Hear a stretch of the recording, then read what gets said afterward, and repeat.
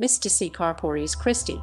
Mystici Corporis Christi is a papal encyclical issued by Pope Pius XII on 29 June 1943 during World War II.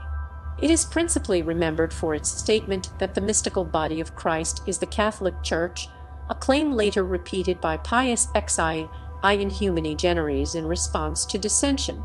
According to the Jesuit theologian Avery Dulles, Mystici Corporis was the most comprehensive official Catholic pronouncement on the Church prior to Vatican II.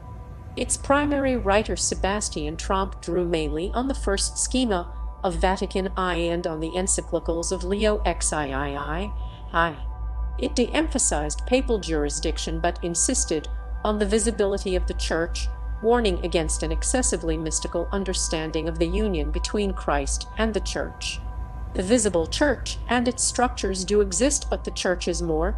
She is guided by the Holy Spirit, although the juridical principles on which the Church rests and is established derive from the divine constitution given to it by Christ and contribute to the attaining of its supernatural end.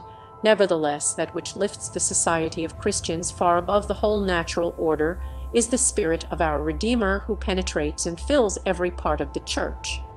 An exclusively mystical understanding of the Church is mistaken as well, because a mystical Christ in us union would deify its members and mean that the acts of Christians are simultaneously the acts of Christ. The theological concept una mystica persona, one mystical person refers not to an individual relation but to the unity of Christ with the Church and the unity of its members with him and her lay people are at the forefront of the church and have to be aware of being the church, not just belonging to the church.